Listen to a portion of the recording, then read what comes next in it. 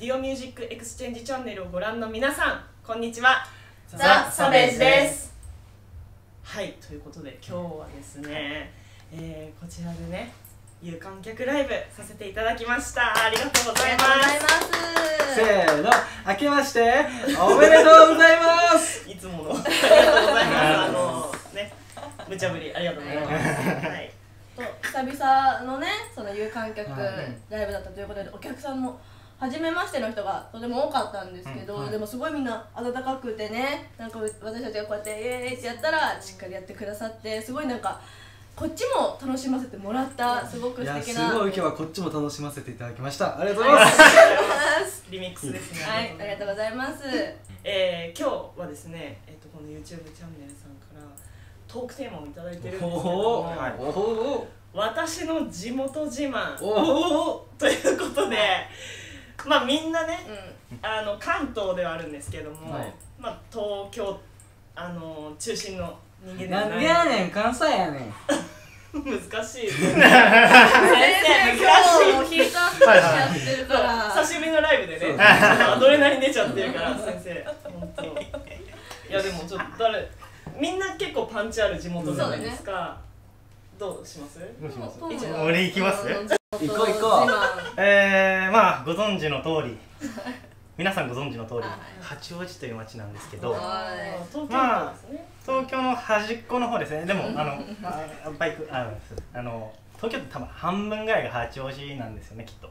めちゃめちゃでかいんですよ。絶対違う。あの東京絶対違う。いやマジで東京半分は渋谷。いや東京があって多分、まあ、は八王子あと東京みたいな。八王子東京みたいな。あでもそう大丈夫？じゃあ八王子県だぐらいってことなの？ってない八王子県だ八王子県。八王子民は八王子県じゃん。八王子県になるよ、ん。八王子民はもう八王子が大好きだから、はいはいはい。あの八王子は東京より上だと思ってますかおっと、はい。おっと。結構らな。んか地元愛がまあ自慢でもありあとうん。皆さんラーメン絶対好きじゃないですか、うん。八王子ラーメン。八王子ラーメンっていうあのスーパー美味しいものがはい。博多ラーメンあと何札幌？うん。とか何北海道とかよりもなんと言っても？八王子ラーメン。これぜひ食べに来てください。はい。近い違うね。すぐだよね。それかな？そんぐらいかな？ディオからすぐ。そう。自分からすぐよ。すぐ。あーすぐ。そう。ピッピッなるほど。ペッペッペッペッペまあじゃああのね八王子ラーメンが自慢ということでまあちょっと皆さんのお話も聞きたかったんですけど、はい。今日はこんなところでああそうなんです。はい。私だけ？寂し。い私だけか。私たちザ・サベージなんですけども昨年の10月に、えーアルバムをリリースさせていただきまして「ザ・デイというアルバムをリリースさせていただきました。であの本日のライブでも披露させていただいた楽曲がいくつも入ってるんですけども一日の流れをこう音楽で表現した内容となっておりますのでいろんな人にねうん。聞いてほしくって。すごくこういろんな年齢層の方いろんなジャンルが好きな方にあの楽しんでもらえるアルバムになっておりますのであとね YouTube はい。ミュージックビデオ。かっこいいの。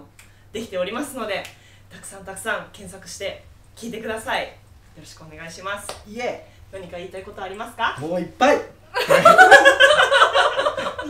もういっぱい。